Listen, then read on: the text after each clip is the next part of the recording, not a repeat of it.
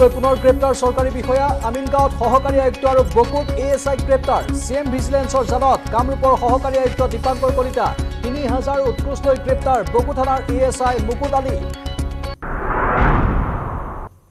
Guwahati মহানগৰীত BJP নেতা pistol দেখুৱাই ভাবুকি নিশা লাখ টকীয়াত আই টি চেলৰ জিলা বিষয়া নুমন দেৱানৰ বুকুত পিষ্টল টোৱাই ভাবুকি দুৰ্বৃত্তৰ ঘটনা ঠিকাদাৰ জুৱেৰ হুছেইন জড়িত থকাৰ অভিযোগ নেতাজনৰ। কন্যাধৰাৰ অঞ্জন নাথৰ হত্যাকাণ্ডৰ ন ন তথ্য। সৌৰভ গীতাশ্ৰীৰ সম্পৰ্কৰ কথা জানিছিল গীতাশ্ৰীৰ মাতৃয়ে। অঞ্জন আৰু গীতাশ্ৰীৰ সম্পৰ্ক বিচ্ছিন্ন কৰাৰ চেষ্টা কৰিছিল মাতৃয়ে। গীতাশ্ৰীৰ ভগ্নীয়ে উলুবাৰীৰ এটা নলাত পেলাইছিল হত্যাকাণ্ডত ব্যৱহৃত পিষ্টল মহিলাসকলক আন্দোলন আৰু মাইক্ৰ' ফাইনেন্সৰ ঋণ নলবলৈ আহ্বান মুখ্যমন্ত্ৰীৰ। ডিব্ৰুগড়ত বাইছ হাজাৰ এশ বাসত্তৰগৰাকী হিতাধিকাৰীক ন' ডিউ চাৰ্টিফিকেট প্ৰদান মুখ্যমন্ত্ৰীৰ সভাত বিজেপিক শনিৰ পৰা হাঁহ আখ্যা দিলে মুখ্যমন্ত্ৰীয়ে। এশ আঠাইছ বছৰৰ পিছত পুনৰ অলিম্পিকত অন্তৰ্ভুক্ত হ'ল ক্ৰিকেট। মুম্বাইত অনুষ্ঠিত এশ একচল্লিছ সংখ্যক অধিৱেশনত আন্তঃৰাষ্ট্ৰীয় অলিম্পিক সন্থাৰ ঘোষণা। দুহেজাৰ আঠাইছ চনত লছ এঞ্জেলছত অনুষ্ঠিত হ'বলগীয়া অলিম্পিকত খেলিব পাৰিব। দশম দিনত ভৰি দিলে ইজৰাইল আৰু হামাছৰ যুদ্ধই পাঁচ ঘণ্টাৰ বাবে গাজাত যুদ্ধ বিৰতি ঘোষণা ইজৰাইলৰ খুলি দিয়া হ'ল ইজিপ্ত গাজাৰ প্ৰৱেশ পথ ইজিপ্ত সীমান্তইদি খাদ্য সামগ্ৰী যোগান যুদ্ধ বিধ্বস্ত লোকসকললৈ ইৰাণৰ পিছত এইবাৰ যুদ্ধ বন্ধ কৰিবলৈ ইজৰাইলক সকিয়নি চীনৰ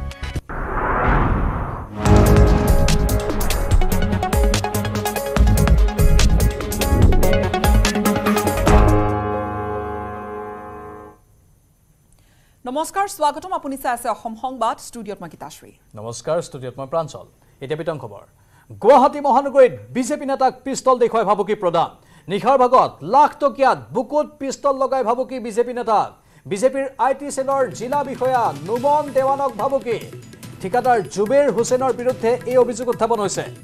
আকৌ এবাৰ জনাইছোঁ গুৱাহাটী মহানগৰীত বিজেপি নেতাক পিষ্টল দেখুৱাই ভাবুকি দিয়াৰ খবৰ নিশাৰ ভাগত লাখ টকীয়াত বুকুত পিষ্টল লগাই ভাবুকি দিয়া হ'ল বিজেপি নেতাজনক। আই টি চেলৰ জিলা বিষয়া নুমন দেৱানক ভাবুকি দিয়া হৈছে।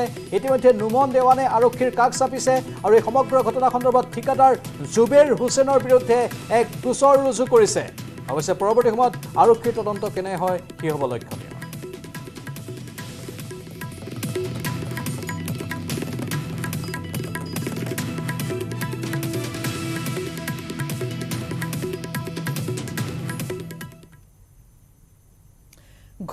দিবই লাগিব। অন্যথা টেবুলতে থাকি যায় ফাইল। চৰকাৰী কাৰ্যালয়ত চৰকাৰী বিষয়াৰ ব্লেকমেইল সহকাৰী আয়ুক্তৰ দৰে পদত অধিষ্ঠিত হৈও সামৰিব নোৱাৰিলে টকাৰ লোভ আৰু এইবাৰ ঘোষ লৈ গ্ৰেপ্তাৰ হৈছে কামৰূপ জিলাৰ সহকাৰী আয়ুক্ত দীপাংকৰ কলিতা। চি এম ভিজিলেন্সে গ্ৰেপ্তাৰ কৰিছে হাতেলোতে ধৰা পেলাইছে সহকাৰী আয়ুক্ত দীপাংকৰ কলিতাক ফাইল পেলাই থৈ দিয়ে আৰু ফাইল পেলাই থৈ ধন দাবী কৰিছিল সহকাৰী আয়ুক্তজনে। পদবী সহকাৰী আয়ুক্তৰ কিন্তু টকাৰ লোভ সামৰিব যেন নোৱাৰে আৰু এনেকৈয়ে টকা বিচাৰে ফাইল নহলে পেলাই থৈ দিয়ে। এইবাৰ যিহেতু ৰাইজো যথেষ্ট সজাগ সচেতন হৈছে ৰাইজে এই ধৰণৰ দুৰ্নীতিগ্ৰস্ত বিষয়াসকলক জালত পেলাবলৈও যেন এক প্ৰকাৰ পণ লৈছে মুখ্যমন্ত্ৰীয়ে আহ্বান কৰিছে। পুলিয়ে পোখাই দুৰ্নীতি সম্পূৰ্ণৰূপে নিৰ্মূল হ'ব বুলি বাৰম্বাৰ কোৱা হৈছে কিন্তু তাৰ মাজতে একাংশই যেন চৰকাৰী বিষয়া একাংশই যেন কেৰেপেই নকৰে। জিলাৰ এইবাৰ কামৰূপ জিলাৰ সহকাৰী আয়ুক্ত এগৰাকী দীপাংকৰ কলিতা চি এম ভিজিলেন্সৰ হাতত গ্ৰেপ্তাৰ হৈছে।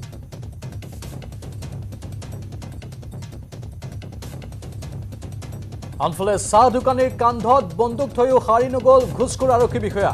বুকুত তিনি হাজাৰ ঘোষ লৈ দুৰ্নীতি নিবাৰকৰ হাতত গ্ৰেপ্তাৰ হ'ল এ এছ আই মুকুট আলী। ফোনৰ বাৰ্তালাপ আৰু চাহ দোকানীৰ স্বীকাৰোক্তিৰ ভিত্তিতেই গ্ৰেপ্তাৰ কৰা হৈছে ঘোষখোৰ মুকুট আলীক এগৰাকী মহিলাৰ পৰা ধন লোৱাৰ অপৰাধতে গ্ৰেপ্তাৰ কৰা হৈছে। তিনি হাজাৰ উৎকোচ লোৱাৰ অপৰাধত গ্ৰেপ্তাৰ কৰা হৈছে।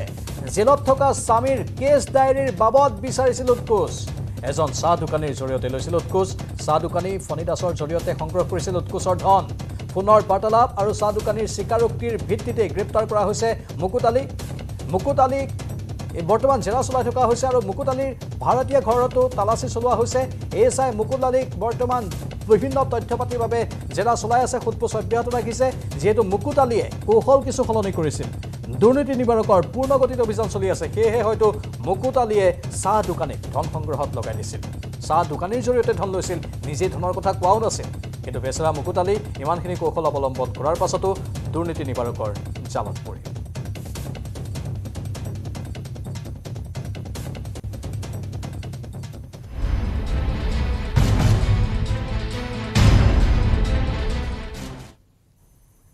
কইনাধৰা ৰঞ্জন নাথৰ হত্যাকাণ্ডৰ জালত পৰিছে সাতজন। সাতজনক এতিয়া সোধা পোছা চলিছে। হত্যাকাণ্ডৰ মাষ্টাৰ মাইণ্ড সৌৰভ গোয়েংকা সহ সাত অভিযুক্ত গ্ৰেপ্তাৰ কৰিছে ইতিমধ্যে মহানগৰ আৰক্ষীয়ে। পত্নী গীতাশ্ৰী সিনহা।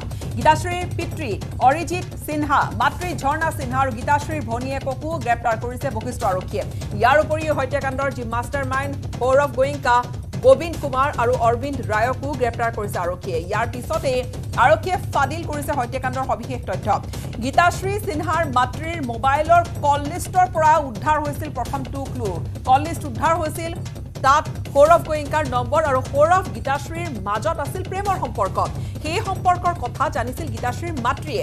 আনকি গীতাশ্ৰীৰ মাতৃৰ কল লিষ্টৰ পৰাই পাইছিল আৰক্ষীয়ে প্ৰথমটো ক্লু অঞ্জন নাথৰ মোবাইল ফোনত ব্লক লিষ্টত আছিল। সৌৰভৰ নম্বৰ তাত সন্দেহ আৰু অধিক ঘনীভূত হৈছিল। তাৰ পিছৰে পৰা আৰম্ভ হৈছিল আৰক্ষীৰ অনুসন্ধান আৰু বিভিন্ন দিশ চাই জালত এজনৰ পিছত আনজনকৈ পেলাবলৈ আৰক্ষীয়ে সক্ষম হ'ল। চলিত বৰ্ষৰ জানুৱাৰী মাহৰ পৰা গীতাশ্ৰীৰ সৈতে সম্পৰ্ক সৌৰভৰ আছিলে। আৰু সঘনাই গীতাশ্ৰীৰ ঘৰলৈ অহা যোৱাও কৰিছিলে সৌৰভে। গীতাশ্ৰীৰ মাতৃৰ লগত মিলি বেজালি পৰ্যন্ত কৰিছিল সৌৰভে। অঞ্জন আৰু গীতাশ্ৰীৰ সম্পৰ্কৰ বিচ্ছিন্ন কৰাৰ বাবে চেষ্টা দুয়ো কৰিছিল। প্ৰথমে বেজালি কৰিছিল বেজালি কৰি কাম নিদিলে আৰু তাৰ পিছত গুলীয়াই হত্যা কৰাৰ যি পৰিকল্পনা সেয়া ৰচি ক- পেলাইছিল। আটাই মিলি অঞ্জন নাথক তাৰ পিছতে আহ, মেট্ৰ' হস্পিটেলৰ সন্মুখত কইনাধৰা তাত হত্যা কৰা হৈছিল গুলীয়াই। গীতাশ্ৰীৰ সম্পৰ্ক অঞ্জন নাথৰ লগত যিমানে গাঢ় হৈ যায় সিমানে গীতাশ্ৰীৰ মাক দেউতাক ইয়াৰ বিৰোধী হৈ পৰে। শেষত গীতাশ্ৰী আৰু অঞ্জনে একেলগে থাকিবলৈ সিদ্ধান্ত লয় আৰু এদিন অঞ্জনে গীতাশ্ৰীক নিজৰ ঘৰলৈ লৈ যায়। তেওঁলোকৰ মাজত কোনো সামাজিক বিবাহো হোৱা নাই বা কোনো কোৰ্ট মেৰেজো হোৱা নাই। অঞ্জনৰ পিতৃ মাতৃ আৰু তেওঁৰ পৰিয়ালৰ বাকী সদস্যসকলেও এইটো মানি লোৱা নাছিল যে এইগৰাকী যুৱতীক তেওঁলোকৰ ঘৰলৈ বোৱাৰী হিচাপে লৈ আনিব। আৰু এই বিষয় লৈ ভিক্টিমৰ ঘৰত অশান্তিৰ সৃষ্টি হৈছিল আৰু গীতাশ্ৰীৰ পৰিয়াল আৰু ভিক্টিমৰ পৰিয়ালৰ মাজতো কিছু শত্ৰুতাৰ সৃষ্টি হৈছিল। যেতিয়াই পাৰিবাৰিক অশান্তি হ'ল অশান্তি হোৱাৰ লগে লগে অঞ্জন নাথে খুব বেছি মদ খাবলৈ ধৰিলে। আৰু এই সমস্যাবিলাক লৈ গীতাশ্ৰী আৰু অঞ্জনৰ মাজতো তেওঁলোকৰ সম্পৰ্ক বেয়াৰ ফাললৈ গতি কৰে। গীতাশ্ৰীৰ চিনাকি হয় সৌৰভ গোৱেংকাৰ লগত। তেওঁলোকৰ মাজত ফোন নম্বৰ এক্সচেঞ্জ হয় লাহে লাহে কথা বতৰা আৰম্ভ হয় আৰু শেষত গীতাশ্ৰী আৰু সৌৰভ গোৱেংকাৰ মাজত আকৌ প্ৰেমৰ এটা সম্পৰ্ক আৰম্ভ হয়। গীতাশ্ৰীৰ মাতৃয়ে সৌৰভ গোৱেংকাক আদৰ সাদৰ কৰিবলৈ ধৰে ঘৰলৈ মাতে। আৰু সৌৰভ গোৱেংকাক ক'বলৈ ধৰে যে তোমাৰ আৰু গীতাশ্ৰীৰ মাজত সম্পৰ্ক তেতিয়াহে হ'ব যেতিয়া অঞ্জন নাথ লাইনৰ পৰা আঁতৰি যাব। সৌৰভ গোৱেংকাই গীতাশ্ৰীৰ পিতৃ মাতৃক লৈ মায়ং যায়।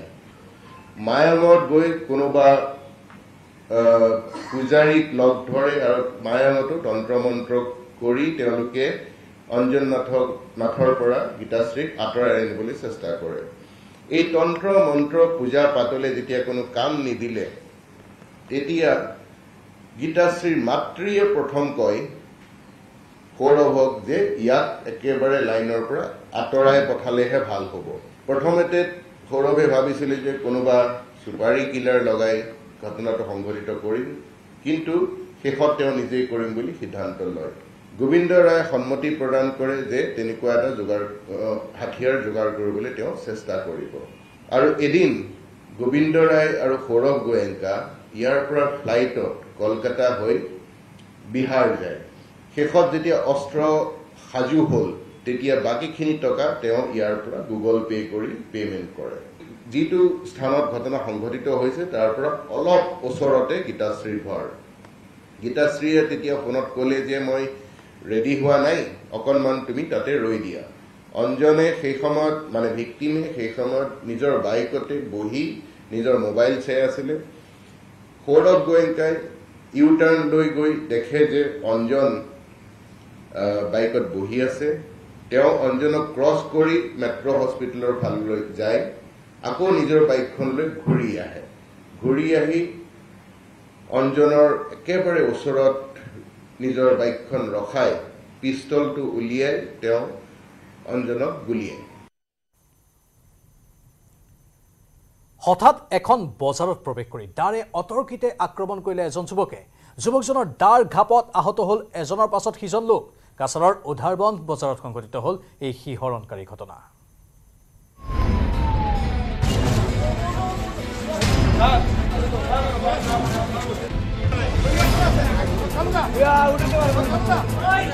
হঠাৎ আক্ৰমণ। নিমিষতে ৰক্তাক্ত বজাৰ। নিশা কাছাৰৰ উদাৰবন্ধ বজাৰত ঘটিল এই ভয়ংকৰ ঘটনা। বজাৰ চলি থকাৰ সময়তেই হঠাৎ হাতত দা লৈ বজাৰখনত প্ৰৱেশ কৰে এজন অচিনাক্ত যুৱকে। তাৰ পাছতে কোনো কাৰণ অবিহনে ইজনৰ পাছত সিজন লোকক আক্ৰমণ উন্মত্ত যুৱকজনৰ। ঘটনাৰ উৱাদিহ বুজি উঠাৰ পূৰ্বেই যুৱকজনৰ আক্ৰমণৰ বলি হয় তিনিজন লোক। মুহূৰ্ততে আক্ৰমণকাৰী যুৱকজনৰ সন্ত্ৰাসত বজাৰখনত সৃষ্টি হয় হুৱা দুৱা পৰিস্থিতিৰ। বজাৰ এৰি পলাবলৈ আৰম্ভ কৰে উপস্থিত লোকসকলে।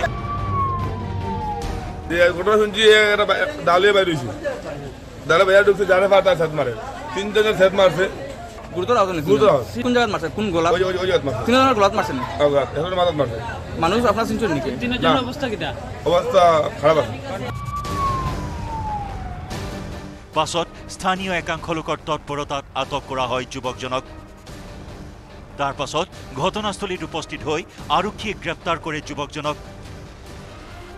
কি কাৰণত যুৱকে আক্ৰমণৰ ঘটনা সংঘটিত কৰিলে এতিয়াও নিশ্চিত হোৱা নাই। যুৱকজন মানসিকভাৱে বিকাৰগ্ৰস্ত অথবা ড্ৰাগছ আসক্ত হ'ব পাৰে বুলিও সন্দেহ প্ৰকাশ কৰিছে একাংশই। শিলচৰৰ পৰা Aniruddha লস্কৰৰ report news eighteen Assam north east.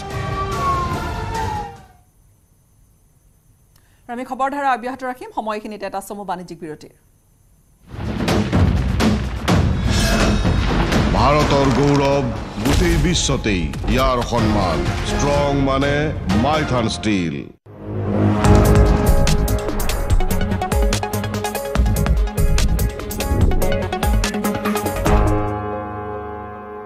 কঠিন